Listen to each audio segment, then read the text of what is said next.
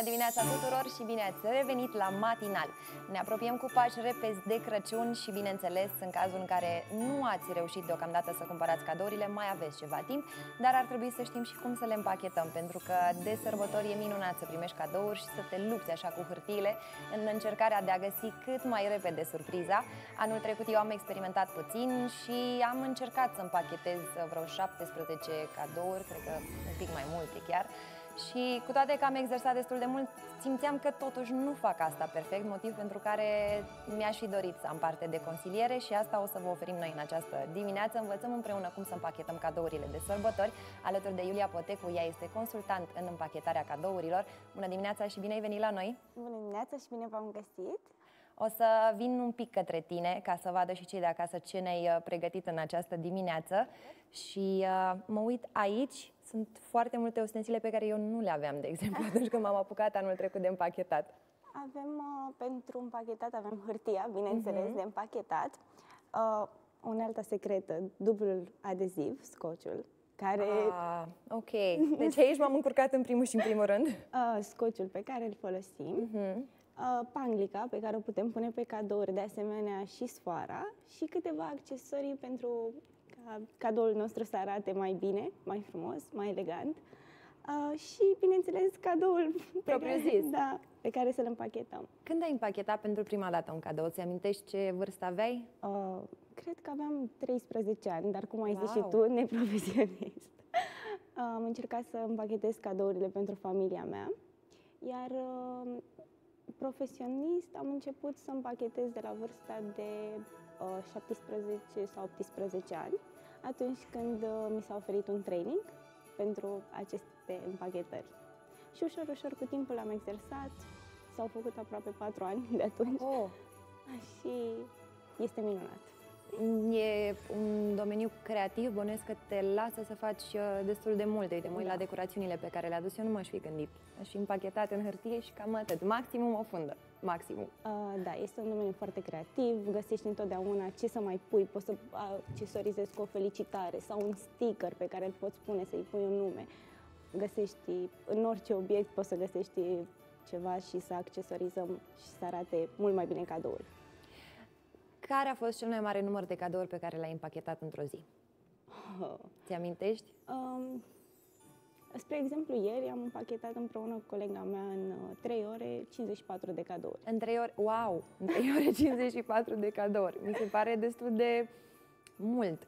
Dar bănesc că, nu știu, te relaxează genul ăsta de activitate, da. faptul că lucrezi cu hârtie, cu obiecte care te ajută să fii creativă. Da, nu este un mediu solicitant, este un mediu relaxant. Uh, așa cum mi zic mereu, uh, eu mă duc la muncă să mă relaxez.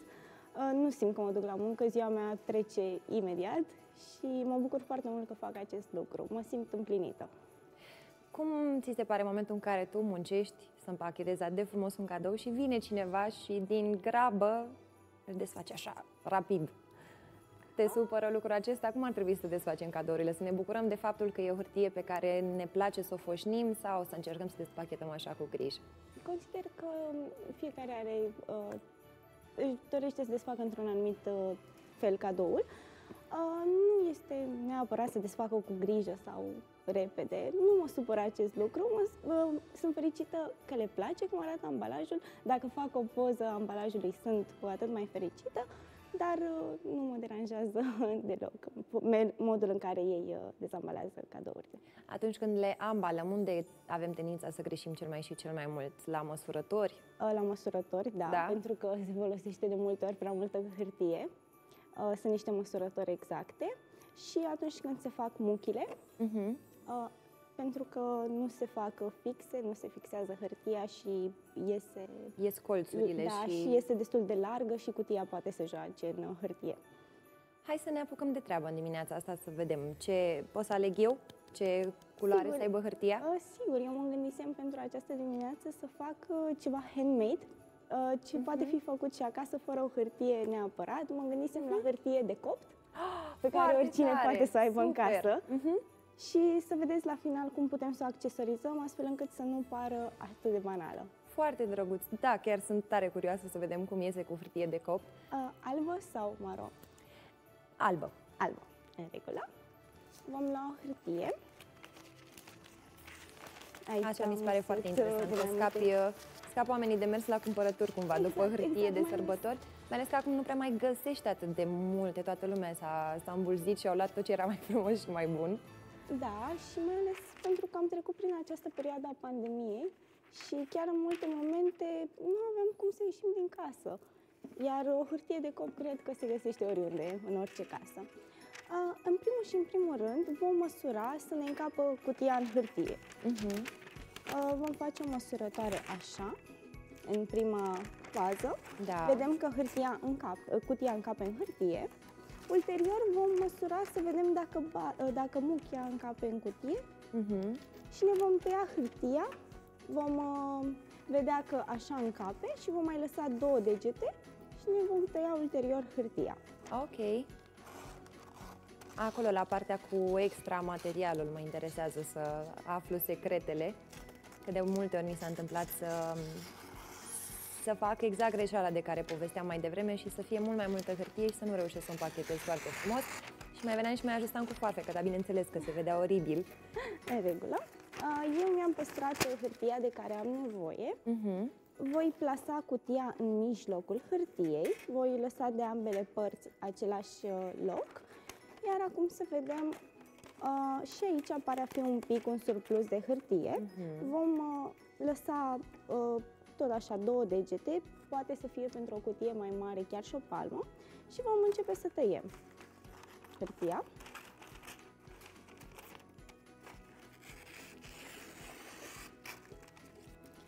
Uh, ne vom uita care dintre părți este cea tăiată. Aceasta este cea tăiată, iar acesta este cea pe care n-am tăiat-o. Uh-huh. Pe cea tăiată o vom lipi de cutie cu un pic de scoci pentru a ne ajuta Da, ca să rămână fixă. ca să rămână fixă, să nu se miște cutia, să nu se deplaseze.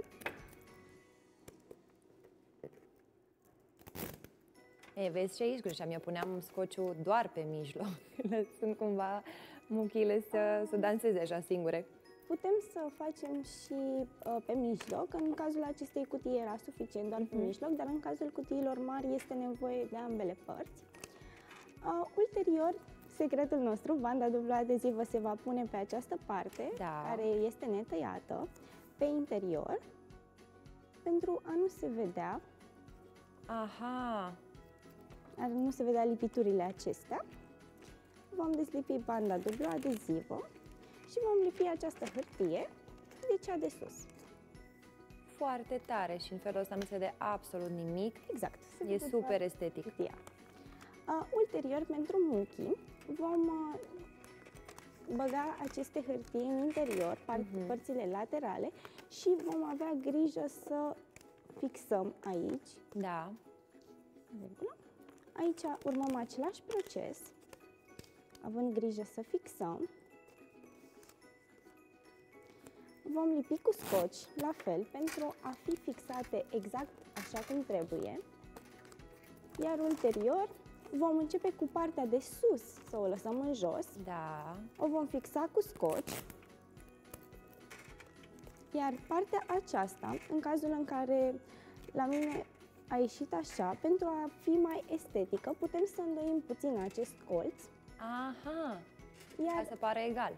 a, da, să, să fie mai estetic, să se vadă mai frumos și punem bandă dublu adezivă aici. Și a- așa am mascat absolut tot. Da. Foarte interesant. Și apoi lipim. Uitați. Wow, ok. Vom uh, face același proces și în această parte, să avem grijă să fie Îmi imaginez că tu acum faci încet ca să putem noi să te urmărim, dar Da. cred că atunci când împachetezi propriu zis să-ți Oh. merg mâinile Da, una, două. este mult mai rapid. Uh, este, cre- sincer, mi este greu să împachetez atât de încet, pentru că ți intri într-un anumit ritm și este greu să te întorci de unde ai plecat. Dar la început, da, acesta este, era mersul. Uh, și aici, la fel, vom îndoi un pic uh, colțul și vom pune bandă dublu adezivă. Foarte, foarte drăguț și acum mi se pare și mie mult mai ușor că mi-a explicat cineva pașii exacti.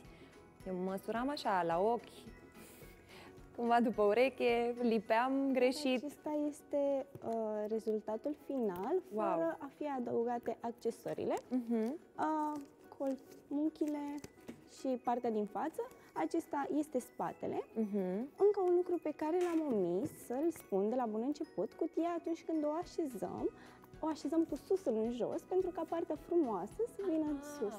Am înțeles super drăguț. Uite, nici la asta nu m-aș fi gândit. Eu le punem așa cum nimeream și la final, când deschideau, deschideau ei cumva. Am înțeles. Uh, vă rog acum pe dumneavoastră să alegeți un accesoriu. Hmm.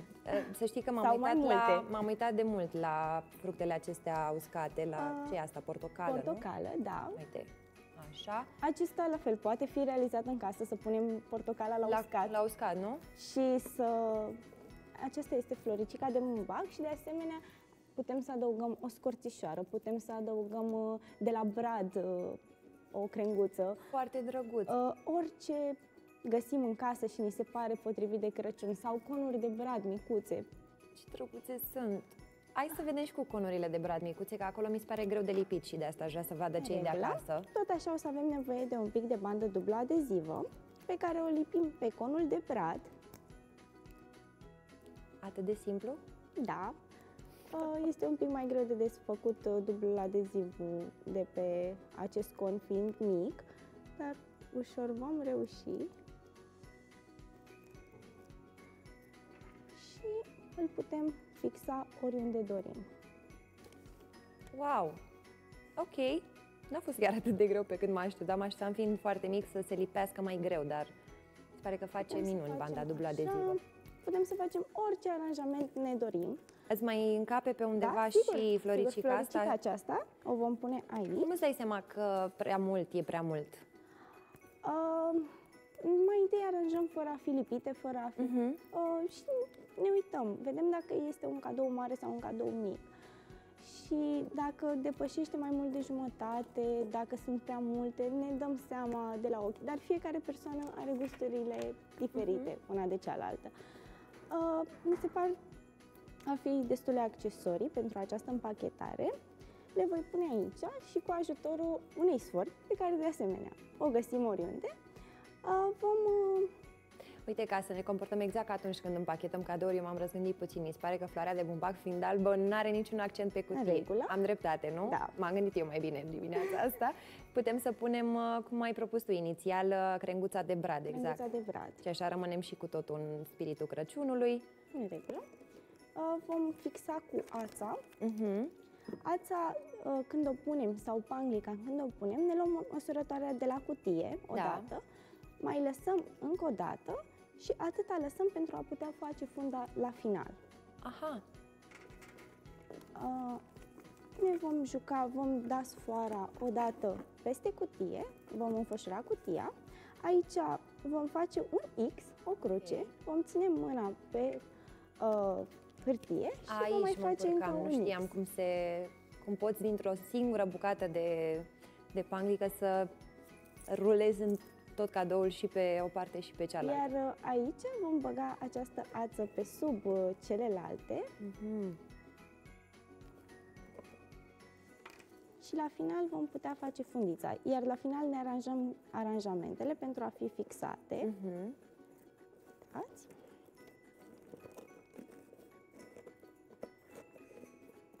Wow, ok, asta, asta era un alt pas care îmi lipsea din ecuație și putem să mai facem o dublă fundiță pentru că este o sfoară destul de subțire și să iasă ceva de genul acesta. Bine, pentru cei care vor să simplifice lucrurile, având în vedere că ne-a arătat atât de frumos cum se împachetează cu hârtie, pot să aleagă o hârtie colorată și, da, și să-și vadă de treabă după. Poate să folosească după aceea o fundă. Uh-huh și să fie simplă. Putem să alegem, spre exemplu, o hârtie cu Crăciunul, cu Moș Crăciun. Și, și punem funda roșie. Roșie sau uh, verde, în funcție de... Uh, ce culori găsim pe Da, ce se găsim sau mm. în funcție de preferințele clienților. Uh, sunt multe modele uh, care, la care nu te-ai fi așteptat să meargă anumite fundițe, dar uh, se văd superb. Am un model de hârtie Uh, cu portocaliu și am o fundă portocalie. Am rămas surprinsă cât de frumos se poate vedea pe acel cadou. Iar funda aia portocalie, credeți-mă, e cred că de vreo 3 ani de zile, nu prea o folosim, nu prea am avut, dar pe acel ambalaj în două zile se duce o rolă de 90 de metri. Wow, ok. este... Practic, n-a fost atât de greu pe cât ne-am imaginat să facem un cadou cu suflet și frumos, să da. ne placă și nouă și celui care îl primește. Exact. Uh, putem să alegem uh, și în funcție de ceea ce noi ne dorim și în funcție de ceea ce își dorește uh, persoana care îi oferim cadoul, ambalajul. Contează cel mai mult să punem suflet în ceea ce facem și cred că rezultatul va fi unul de excepție în acest caz. Îți mulțumesc tare mult că ne-ai trecut pragul în această dimineață de la prima oră, tocmai ca să le dăm răgaz și celor de acasă să-și facă așa o listă în cazul în care vor să meargă la cumpărături sau să caute prin casă ce au mai drăguț exact. să folosească de la ei, de acolo, uite, hârtie de copt, așa cum ne-ai arătat tu. Îți doresc să ai parte de sărbători frumoase și să primești cadouri la fel de frumoase ca cele pe care le împachetezi tu. Vă mulțumesc din suflet, vă doresc la fel sărbători fericite și uh, un an nou fericit, pentru că urmează un nou an și vă mulțumesc din suflet pentru această invitație și această oportunitate. Mulțumim tare mult că ai venit astăzi. Mai departe, să știți că dacă am avut uh, portocală uscată, să știți că și rețeta noastră vedetă de astăzi conține portocală. Este o prăjitură de post cu ghiciți ce? Cu portocală. Bun găsit! Dragii mei, astăzi am pentru voi o rețetă de post împreună cu Irina Precup Bună, Irina! Bună, Mihaela! Mulțumesc că m-ai primit în locul tău așa de frumos. Prăjitura de astăzi este o prăjitură care se prepară imediat, conține ingrediente sănătoase, o putem pregăti atât cu ingrediente de post, cât și cu lapte și ouă. Pentru Am rețeta înțeles. de astăzi o să avem nevoie de zahăr, ulei vegetal, făină, praf de copt, coajă de portocală, lapte vegetal și sirop de portocală. La sfârșit, Trebuie să însiropăm prăjitura cu suc de portocală proaspăt stors. Wow, de-abia aștept! Te rog frumos! Începem? Da!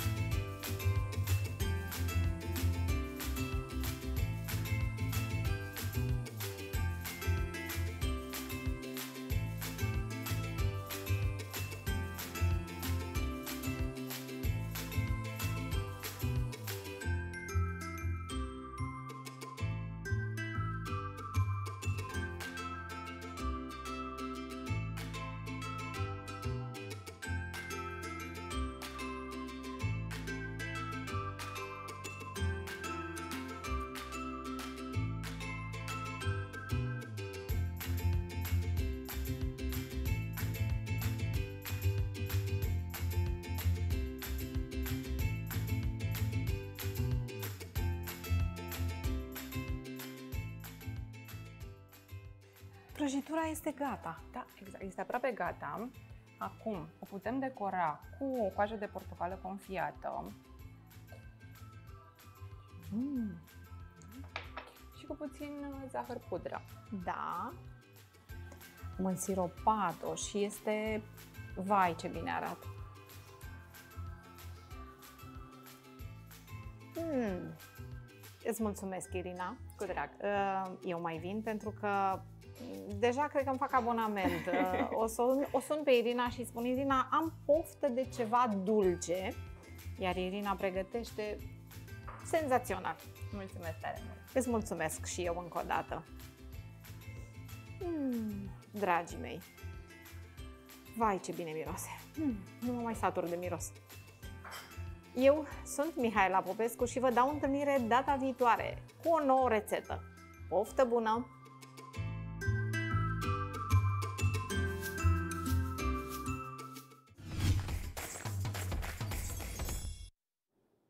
Nu știu cum sunteți voi acum în prag de sărbători, dar eu nu prea simt nevoia să fac sport. Nu de alta, dar am o mare, mare durere de spate și numai de a face sport nu merge.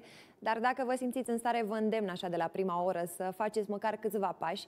Și câțiva pași a făcut și Dean Sorescu atunci când a mers către tribuna unde l-așteptau suporterii, unde s-a întâmplat ceva destul de șocant. Eu nu prea am înțeles gestul suporterilor și aștept să-mi povestească colegii noștri de la Sport Total FM ce s-a întâmplat aseară și pe această cale le spun lui Daniel Nazar Lazare și lui Gabriel Maricescu. Bună dimineața, băieți! Bună dimineața! Bună dimineața tuturor! Ca să fiu sincer, noi ne-am calmat cu subiectul ăsta. La prima oră am fost... Sau am refulat la prima oră. Sau am refulat. De, de acceptat nu putem să-l acceptăm, dar suntem mai, mai tihniți așa un pic. Este într-adevăr de neimaginat, cel puțin din punctul nostru de vedere, ce s-a întâmplat cu Sorescu. Aici nu contează cum se numește fotbalistul, cât de bun e, cât de slab e, cât de prost a jucat într-un meci, cât de mult a greșit și așa mai departe. Este inacceptabil ca un sportiv să fie umilit pur și simplu de niște suporteri, niște indivizi care își arogă anumite drepturi doar în virtutea faptului că ei vin și susțin echipa, pur și simplu l-au dezbrăcat de tricou pe pe principiul, domnule, nu îl meriți tricou. Mai poți să-i spui că nu-l merită. Măi, Sorescu, tu nu meriți să îmbraci tricoul ăsta lui Dinamo și ai terminat. Faptul că el s-a lăsat dezbrăcat, că nu s-a opus, E o altă bă, discuție, dar pentru mine, cel puțin, este de neacceptat, iar Federația Liga ar trebui să să mai comunice și cu opinia publică atunci când se întâmplă astfel de lucruri în, în, în tribune și pe teren. Și când e vorba de uh, violența verbală a unor uh, jucători, violența verbală a unor uh, antrenori și așa mai departe. E foarte complicată pentru că mm, Dean Sorescu ar fi putut să nu se ducă către galerie la finalul meciului, să plece la vestier. El a arătat o formă de respect că s-a dus să stea de mm. vorbă, să-i aplaude pe cei fani. Fanii, în schimb, n-au avut același respect și au luat tricou. Și au luat uh, tricoul lui Dean Sorescu. Dacă lua la nu știu ce spaniol, uh, ciprios sau cine mai e prin lot, sloven pe acolo, n-ar fi fost o Dar totuși Dean Sorescu a fost uh, cel mai reprezentativ jucător, jucătorul care a adus puncte în acest debut de campionat. Sigur, sunt așteptările mari de la el, dar nu înțeleg suporterii faptul că Dinamo are o echipă formată din fotbaliști foarte, foarte slabi. Credeți că fotbaliștii n-au vrut să câștige ieri? Atunci, într-adevăr, merita să le iei tricou. Ei au vrut, dar n-au putut. N-au putut pentru că nu au valoare. Lucrurile sunt foarte simple. Și spuneai tu că așteptăm o reacție de la FRF și LPF. Am Eu aștept o reacție și de la foștii jucători dinamoviști. Uh, de la suporteri importanți. Am văzut acum pe Instagram o reacție de la Dan Capatos. A spus că pentru el, din acest moment, cardul de DB e un simplu, o simplă chestie de plastic, după ce s-a întâmplat uh, la, cu Sorescu aseară. Ar trebui să intervină și fostele glorii, să spună, domne, e normal să facem așa ceva? Păi ăștia avem, slabe, așa cum sunt. Hai să-i susținem să ieșim din situația asta, nu să le dăm în cap. Păi cum joacă fotbaliștii următorul meci după reacția asta a fanilor? Eu te-aș completa. Nu-i vorba, nu vrei să-i susții, nu-i susține. Dar nu, nu trece la gestul de... Nu le da cu băta în cap. Da, da, și încă ceva, nu contează. Putea să fie cipriot, putea să fie oricine. Era un jucător de fotbal, era un om. Legitimat la Dinamo. Nu conta, e un om, dar nu, nu, nu da. umilești. Uh, noi spuneam în, în uh, debutul emisiunii, dom'le, are și omul ăsta o familie, nu? Și se uită la televizor că îi vede pe nei ca nimeni da. ea, da? Cum le dezbracă copilul acolo. Adică unde ajungem cu gesturile astea? Fenomenul ultras, așa cum e perceput la noi cel puțin, o prostie. este o mare prostie. Dar uh, dacă ar fi doar o prostie, ar fi cum ar fi. Dar devine foarte periculos. Da. Asta Eu e. cred că ar trebui să intervină și oficialii clubului, ar fi trebuit conducerea clubului să spună, domne, Da. ce se întâmplă, ce e asta? Păi mâine o să-i bată, o să-i dai jos din autocar, o să-i lase p- fără bani pe autostradă, adică unde ajungem? Asta este soluția? Nu este, dar uh, din păcate în direcția asta ne cam îndreptăm dacă nu luăm măsuri. Dacă merge, mergem uh, pe burtă, mă scuzați că spun așa, lucrurile vor deveni din ce în ce mai uh, complicate. Da, asta e situația. Mai este un singur meci de campionat în acest an, sunt importante cele trei puncte pentru Dinamo, Hai să vedem cum îi susținem pe jucători dacă într-adevăr suntem suporteri. Dacă Da, da, vedem. îi amenințăm, o să intre într-o depresie și o să pierdă și următorul meci. Asta ne dorim? Da, următorul meci e cu Farul, echipă care aseară a fost învinsă de campioana Dar a jucat CFR, frumos, Gabi, a jucat dar a jucat, a jucat pe atac, a avut multe ocazii echipa lui Hagi, însă golurile le-a dat uh, formația antrenată de Dan Petrescu. Formația antrenată încă de Dan Petrescu? Asta e întrebarea pe care uh, noi tot punem, iar răspunsul îl vom afla probabil uh, la începutul săptămânii uh, Ni viitoare. l-a dat chiar Dan Petrescu. Gabi a spus că vorbim după 20 decembrie. Asta e, zic că răspunsul atunci uh, vine. Dar, uh, cum să spun, poți să joci frumos, uh, poți să ratezi o dată, de două, de trei, dar dacă ratezi în mai multe meciuri, nu înseamnă că joci bine. Uh, până la urmă, rezultatul e cel care îl contează și chiar dacă ne place fotbalul frumos, dacă joci frumos și pierzi tot, n-am, n-am rezolvat nimic. Așa și cu uh, Gică Hagi. Uh, deocamdată, CFR, mai ales, dar și FCSB sunt cu mult peste restul echipelor din campionat. Altfel, un campionat modest, știm chestia asta. Uh, Se tot discută în ultima perioadă de atacanți, că nu prea mai sunt atacanți. Într-adevăr, e o temă de discuție, dar uh, ar trebui găsite soluții, mai ales la echipele care se laudă ca o academie puternică, da? Și e cazul și celor de la Faru, da? Da. Nu poți să vii să spui, domne, nu mai sunt atacanți în România. Păi, dacă tu ai academie, adu-i de acolo, da? Îl încerci, bun, nu merge un meci, două, trei. Și Pitu începuse foarte bine, jucătorul de 18 ani, dar pe parcurs s-a stins. Cheamă pe altcineva. Au o problemă și cred că dacă nu l-au pe Betancor, cred că aveau cel mai slab atac din Liga 1. ce Da, vreau. ăsta a fost un transfer neașteptat. Și reușit, să știi. Da, uite, voluntarul l-a pierdut pe Betancourt, dar a mers mult mai bine decât, uh, decât Farul. Farul, dacă nu l-ar fi avut pe Betancourt, ar fi fost într-o situație mult mai uh, complicată. Șansa Farului, ca și altor echipe, e, tot, e aceea că e foarte strânsă lupta acolo pentru play-off. În afară de uh, CFR și uh, FCSB, care s-au desprins deja la o distanță incredibil de mare pentru doar 20 de etape, de la locul 3 până la locul 8, nu? Uh, E bătaie în, uh, în toată regula pentru, pentru play-off. Sigur că voluntari, Botoșani, Craiova par favorite, dar punctele încă uh, nu le lasă uh, loc de liniște. Să le spunem uh, celor care se uită la noi că în această seară avem și semifinalele campionatului mondial de handbal feminin uh, din Spania. Vom vedea meciuri foarte, foarte spectaculoase. Duminică este programată finala. În primul meci avem uh, Franța-Danemarca, apoi Norvegia-Spania. Da, uh, nu doar iubitorii handbalului merită să urmărească adevărat. aceste meciuri, iubitorii sportului în E general. un spectacol pentru că sportiv, da. Este un spectacol uh, sportiv uh, cu siguranță uh, de calitate. Cam atât pentru astăzi, Georgia. Toate bune! Toate bune. Mulțumim tare mult, Și băieți, cam a- pentru informațiile din lumea sportului și cu voi ne revedem luni dimineață. Până una alta mergem mai departe cu matinalul și venim cu vești din lumea astrelor, așa că rămâneți alături de noi pentru că urmează horoscopul zilei.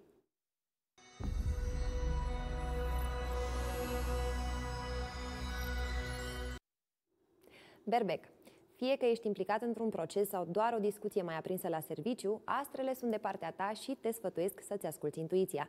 Ai câștig de cauză într-un conflict pe care nu l-ai dorit și care te consumă foarte mult. Adevărul este de partea ta, iar universul îți va arăta că sinceritatea și bunătatea vor câștiga întotdeauna. Tu iartă și uită.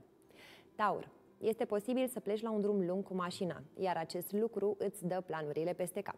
Apar noi responsabilități de care trebuie să te ocupi, iar familia se arată nemulțumită. Spre seară, lucrurile se aranjează de la sine, iar atmosfera devine mai plăcută. Petrești timp plăcut alături de cei dragi.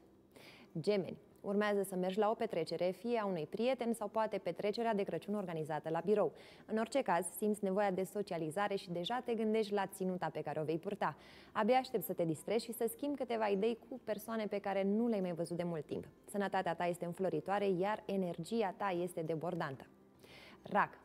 Cupidon nu mai vrea să plece din viața ta și nici nu are de ce. Relația ta amoroasă se îndreaptă către direcția cea bună. Îți placi planuri uh, serioase de viitor alături de perechea ta și te lași purta de val.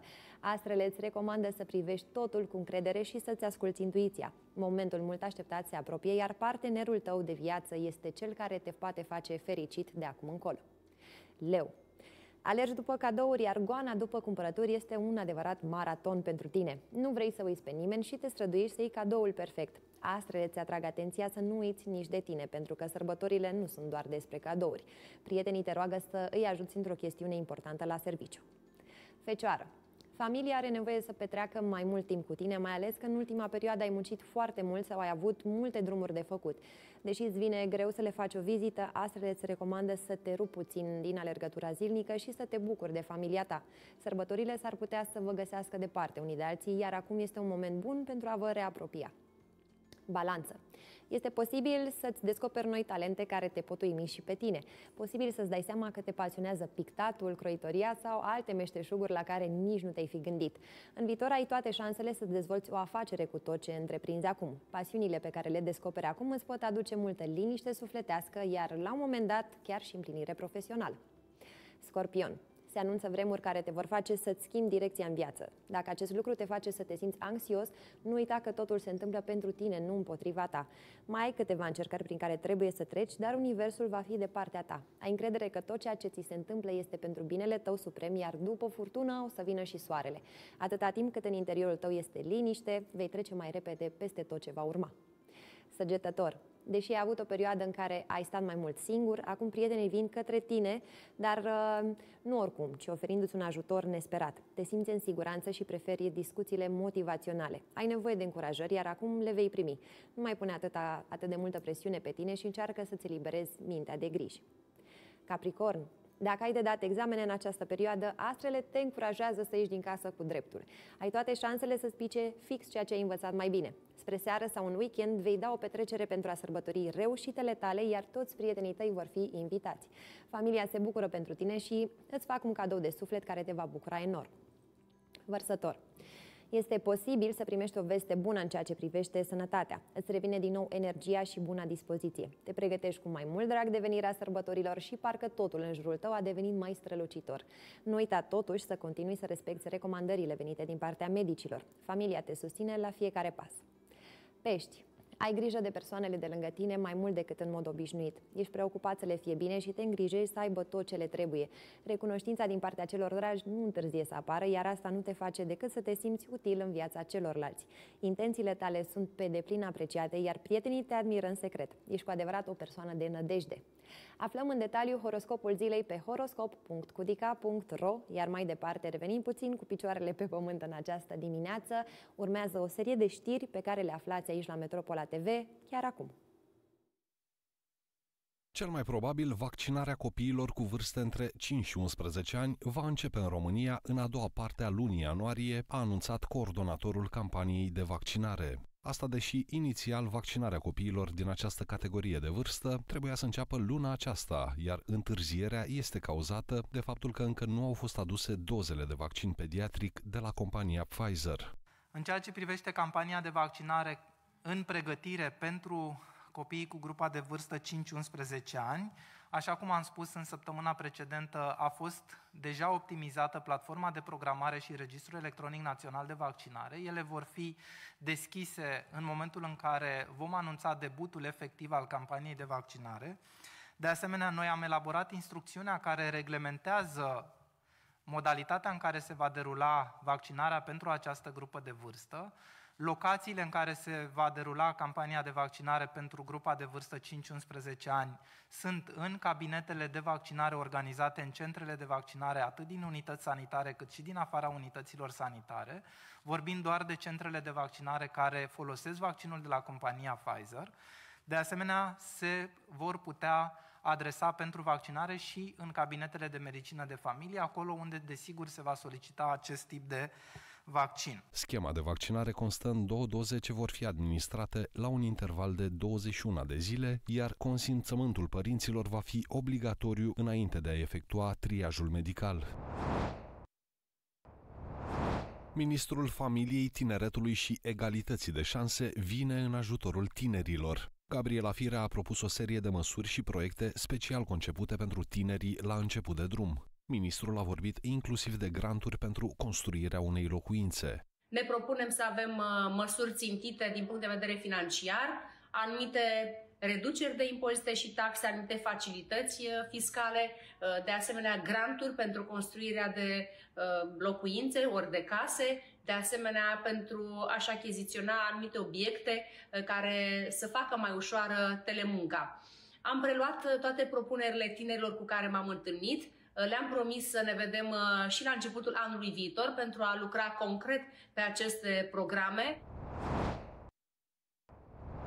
Este perioada febrei de cumpărături și cadouri de Crăciun. Graba îi face pe mulți oameni să nu mai verifice specificațiile produselor pe care le achiziționează. Doar într-o lună s-au dat amenzi comercianților în valoare de aproximativ 1,2 milioane de lei în urma controalelor efectuate de protecția consumatorilor. Specialiștii ne recomandă în acest sens să verificăm mereu eticheta produselor înainte de a le cumpăra.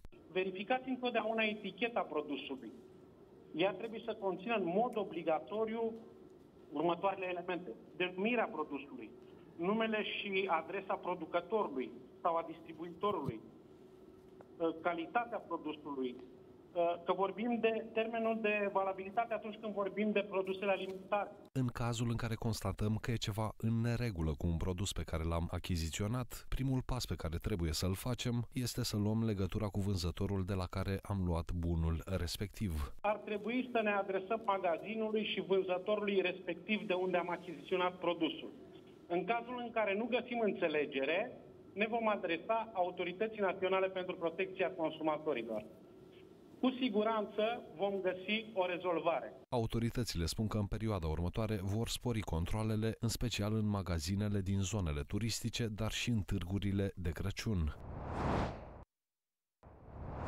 Artificiile fac parte din peisajul nopții de Revelion, însă anul acesta lucrurile nu vor mai arăta la fel. Toate articolele pirotehnice care fac parte din categoria celor periculoase sunt interzise în totalitate, iar cei care nu respectă această regulă riscă să facă chiar și închisoare. Sunt doar anumite categorii de produse pirotehnice care pot fi uh, comercializate în această perioadă, în special cele care nu generează zgomot și nu au nicio încărcătură pirotehnică deosebită, cele care practic în, pe înțelesul tuturor nu sunt periculoase.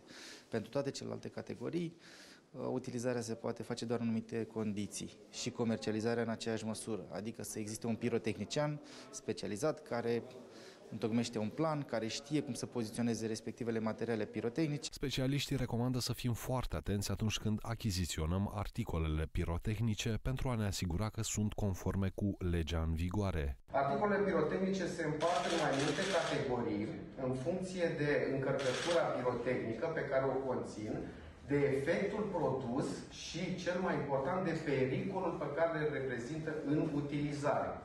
Când achiziționăm articole pirotehnice, trebuie să ne asigurăm că ele sunt etichetate și inscripționate ca făcând parte din categoriile F1 sau P1. Cei care nu vor ține cont de aceste reguli se pot alege chiar și cu un dosar penal. Sancțiunea contravențională este între 5.000 și 7.500 de lei, iar comercializarea tuturor articolelor pirotehnice neautorizate de către persoane fizice sau juridice neautorizate reprezintă, așa cum a spus uh, și colegul meu, o infracțiune. Uh, iar în această situație, bineînțeles, uh, dacă vom constata această situație, se întocmește un dosar penal. Cei care an de an abia așteaptă jocul de artificii din noaptea de Revelion nu sunt tocmai de acord cu aceste reguli. Bucuria nu constă numai în artificii. Artificiile sunt niște lucruri destul de periculoase care manipulate necorespunzător sau de către cei care nu uh, știu cum să le manipuleze, pot duce chiar la moarte. Ne putem bucura, ne bucurăm de ele, dar sunt și periculoase în același timp. Mie mi s-a întâmplat să-mi cadă una pe geantă și mi-a râs geanta.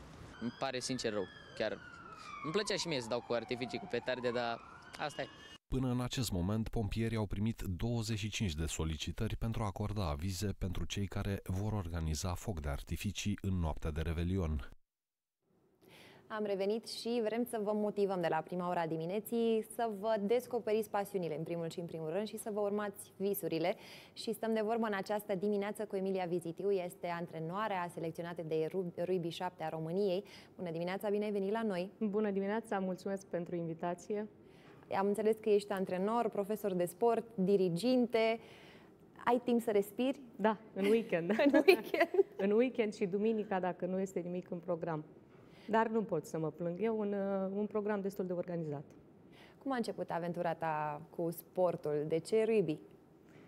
De ce rugby? Pentru că um, mi s-a părut interesant uh, forma mingii și am trecut de la un sport la altul cu în ideea de a-mi ocupa timpul, de a avea activitate într-una. La momentul respectiv eram la o clasă sportivă cu profil sportiv. Nu aveam decât 12 uh, ani și în momentul în care terminam antrenamentele la handbal, pentru că acolo a început viața mea uh, sportivă, mai rămânea puțin timp până sau mai rămânea energie și atunci mergeam și la antrenamente la, la băieți, la colegii mei din clasă. Părinții tăi ce părere aveau despre această pasiune a ta? N-au avut. n-au avut nicio părere. Părinții mei n-au avut. Mama s-a abținut. Tata a fost un pic mai vorbăreț, până la un moment dat când uh, dirigintele, antrenorul din vremea respectivă, bine, și antrenorul de acum, că l-am la echipa națională, îmi era diriginte și l-a convins. A avut o replică foarte, foarte bună pentru el. De ce crezi că au avut uh, părinții un soi de reticență în această privință? Acum referindu-ne și la alte fete care doresc să urmeze aceeași disciplină. Uh, s-au gândit că sunt foarte mică și slabă și nu am ce să fac la rugby, deși Deși... Deși nu trebuie să ne împiedicăm de, de lucrul ăsta, că nu, eu am fost mică și slabă dintotdeauna și în continuare sunt printre celelalte jucătoare și la nivel național și internațional. Nu chiar sunt în normele unei adevărate ruibiste, dar... Faptul că ai jucat cu băieți în copilărie te-a călit, te-a da, ajutat da, să... eu, da, consider că da. Consider că da și au fost chiar primii ani, primii cinci ani am antrenat la un loc cu băieții și cu siguranță a fost un beneficiu. Perspectiva de capitan de echipă, ce reprezintă pentru tine? Cum, cum trebuie să arate un capitan de echipă din punct de vedere motivațional, uite, pentru colegi? Uh, câteodată mă enervează, pentru că vrei să mai ieși din tipar și vrei să mai fii relaxat, poate să fii mai obraznic, poate să fii un pic rebel și atunci nu, nu-ți permiți, pentru că tu ești modelul și trebuie să urmezi uh, să urmezi profilul. Și, dar câteodată este obosit, chiar este obositor. Mie îmi place, mă simt bine, m-am obișnuit cu postura asta, nu am ce să spun. Uh, găsesc soluții uh, rapid, știu cum să motivez fetele, știu cum, cum să mobilizez echipa în timpul meciurilor, dar câteodată îmi vine să le spun, mai lăsați-mă și pe mine în pace.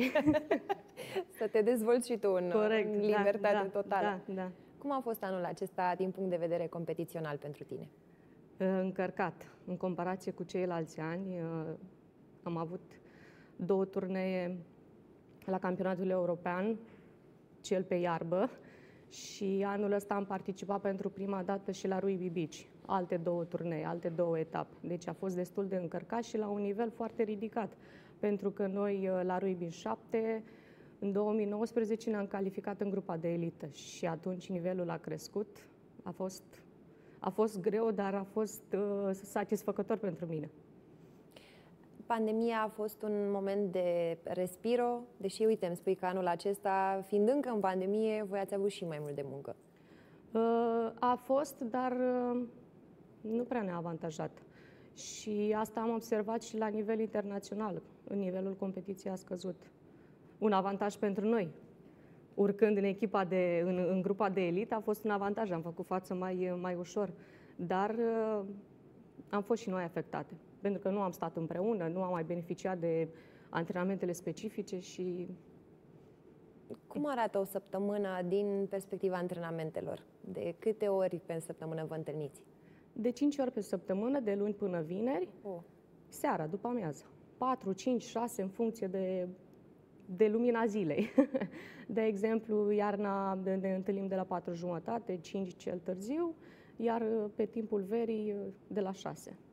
Ca să ne permită programul cu serviciul, cu Asta vreau să întreb. Cum faci față? La ce oră te trezești dimineața ca să ajungi la școală, să ai grijă de copii și apoi să mergi la antrenamente? Dimineața la 6. Wow! La 6, la 8 începem programul la școală, se termină până la ora maxim 3. Am timp să respir o oră, două. Asta am organizat foarte bine programul în ultimii 2 ani, pentru că în ceilalți ani m-am sufocat, alergam dintr-o parte într-alta și existau momente în care efectiv nu aveam timp să, să mă hidratez, să nu mai vorbesc de alimentație. Din perspectiva asta, cum gestionezi uh, lucrurile? Alimentația pentru o ribistă e diferită de alimentația, nu știu, altei sportive? Uh, nu. Nu. Dar eu mănânc orice. Deci orice. Nu, nu, fac, uh, nu fac mofturi. Asta ar mai lipsi după tot programul tău încărcat să mai stai să mai și nu, nu, gestionezi nu, partea orice, de alimentație. Mănânc orice. Pe bază de proteină animală. Îmi place orice. În momentele în care prinzi ceva timp liber pentru tine, ce îți place să faci? Cum te relaxezi după o săptămână stresantă? Păi hai să-ți dau un exemplu. Acum de aici, de la voi, plec direct la munte. Mi-am luat uh, snowboard. Foarte tare! și plec direct hmm. la, la munte. Ai mai practicat acest sport sau? Poftim? Ai mai practicat acest sport până acum sau Uh, este al treilea an în care mă, mă urc pe placă și, bine, bănuiesc că astăzi după amiază va fi un pic dureros. Până mă obișnuiesc uh, din nou cu ea, o să fac uh, un pic cunoștință cu, cu pârtia și de mâine cred că mă voi mobiliza. Este al treilea, dar îmi place, îmi place, e adrenalină, îmi place că e, e o acțiune de asta de se desfășoară în viteză. Și... Mi se pare interesant că viața ta gravitează efectiv în jurul sportului. Da. Chiar și când ai timp liber și mergi să te relaxezi, tot sport faci. Da, da. Pentru că este în alt mediu, acolo e mai liniște. Și am uh, la două, la două, la trei săptămâni, maxim trei săptămâni rezist, fug din București, mă duc să mă relaxez. Mi se pare că e un program echilibrat și cred că asta ar trebui să facem cu toții, să nu lăsăm perioade prea lungi în care nu respirăm puțin, nu ne relaxăm, cumva ajungem în stadiul acela de burnout. Ai fost vreodată în prag de, da. de burnout? Da. Cum da. ți-ai revenit? Uh, care sunt metodele pe care le-ai aplicat? Dacă... Uh, am la pauză de la... Absolut tot. chiar acum în, în noiembrie a fost un moment de sta, am la pauză. Am dat grupul uh, echipei pe mut, le-am zis până în ianuarie să nu mai aud de voi, mă lăsați în pace. La școală, la fel, mi-am mobilizat clasa, vă rog frumos, am nevoie de, de, de pauză o săptămână, fiți și voi cu minți, ca să-mi revin și să putem discuta mai departe și îmi revin în două, trei zile, în patru, nu știu, depinde de, de perioada anterioară. E foarte important să fii tu bine cu tine, să știi ce ai nevoie să pui în aplicare. Pentru asta să știi că te admir teribil și eu încerc să fac același lucru în perioada asta. De sărbători, ce plănuiești? Având în vedere că vine o pauză ceva mai lungă. Merg acasă. Alături de Merg familie? acasă, da, da. Doar acasă vreau să stau, nu mai... Poate fug într-o zi pe rău, dar mă mai gândesc. De Revelion te-ai gândit care sunt planurile? Am tot întrebat uh, invitații și la matinal. De Revelion... Majoritatea nu știe nimic, nu știu ce să fac. Da, nu, mi-am plănuit, am cu gașca mea de aici, din București, o să mergem la tot la munte, să ne petrecem Revelionul, stăm împreună patru zile, dacă am socotit bine patru, cinci zile, suficient.